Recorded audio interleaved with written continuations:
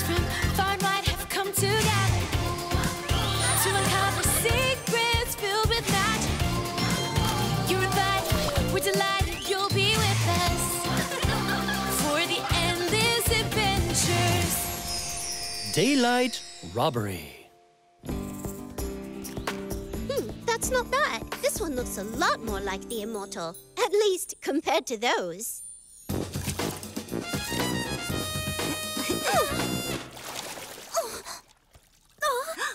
Sorry. Both of you need a little more practice. But not me. Oh, Rooney! You just ruined my act. At least you have an act. I can't think of a single thing to do. You could make the immortal snore well awake. Or put Professor Cat to sleep. But that's not very impressive. It's all right, Dorma. It doesn't have to be impressive. Tonight's performance is about entertaining the teachers. I'll go to the library. Maybe I'll be able to find a spell there. Come back! Get down! Where are you going? Mr. Immortal, do you need some help? No, I'm just organizing my spell books. But they keep flying. Now come back! Get back here!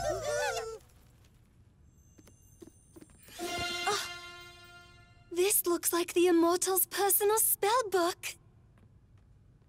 This spell brings darkness in the middle of the day. Oh, impressive. Welcome, darkness. Farewell, light. Welcome, darkness. Farewell, light. Snuff out the sun, bring in the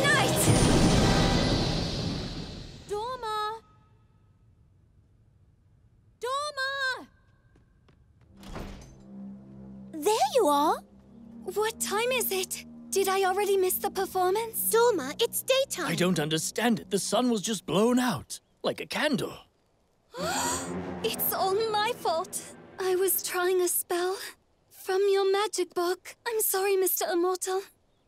And then I fell asleep and cast it in my dream Dorma, what was the spell for? for temporary darkness in the middle of the day. What have you done? By casting the spell in your sleep, your magic was much stronger. Instead of a brief darkness, you've made eternal night. Eternal?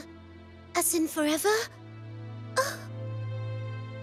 How can we fix this, sir? Is there anything we can do? We can, but we must act swiftly. We have to reverse the spell before the actual nightfall occurs. Otherwise, it'll be night forever.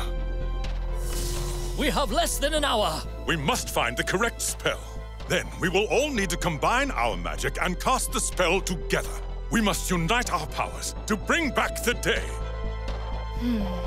If it's going to take all our magic to undo this, then what we need is... Baba Yaga!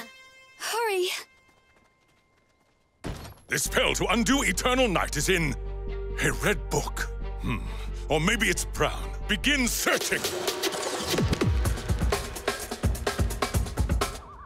Think Baba Yaga will help us? Uh-uh. I doubt she'd help us willingly. She's not like that. And forcing her isn't a good idea either. Should... Yoo-hoo! I'm right here. Good job. You made it night in the middle of the day. Congratulations. I couldn't do that myself. We came to ask for help. The Immortal says we need all our powers cast together in order to reverse the spell, or it will be night forever. Forever, you say? That's bad. So bad, you won't have any herbs for your spells. They won't grow without sun. And your hut will hibernate. She can sleep when it's dark. Hmm. We need to cast a spell before actual nightfall comes. Hurry! what are you doing? But I like this darkness. It works well for me. It makes it easier to get away with doing naughty things.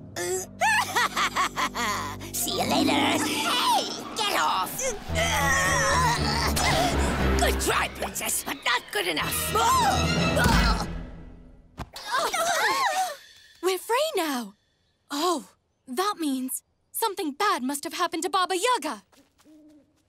Baba Yaga, are you all right? So hard to see trees in the dark. Perhaps then you've changed your mind? Sir, I'm afraid that we are almost out of time. I see that, but where are the princesses? Baba Yaga, why have you come? Oh, I had to come. Just look what those girls have done to a poor old lady. So, where's the spell?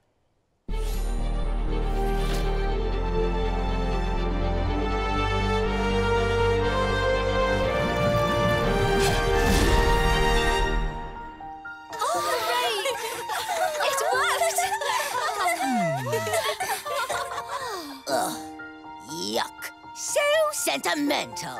Stop. I've had quite enough. I'm sorry I caused all this. The performance was supposed to be fun, but I took it too seriously. Yes, way too seriously. it's not always about being the best. The thing to remember is sometimes it's just the joy of magic. Couldn't you wait till after our acts to do yours? It is entertaining, though.